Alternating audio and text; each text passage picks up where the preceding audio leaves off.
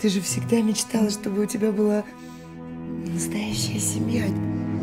Тебя не бросали, а от него мать отказалась. Да кому я нужен? У меня срок годности вышел, взрослый я. Это у меня был отец, я бы его нашел. Он всю жизнь как собачонку выбрасывали на улицу, поэтому он такой. И ничего, что из-за какого-то чужого пацана, которого вы просто притащили, рушится моя жизнь, да? Я только папу найду, и мы тебя заберем. Одиночество – это, наверное, то, чего нормальный человек больше всего в жизни боится. А наши дети с рождения как норму воспринимают.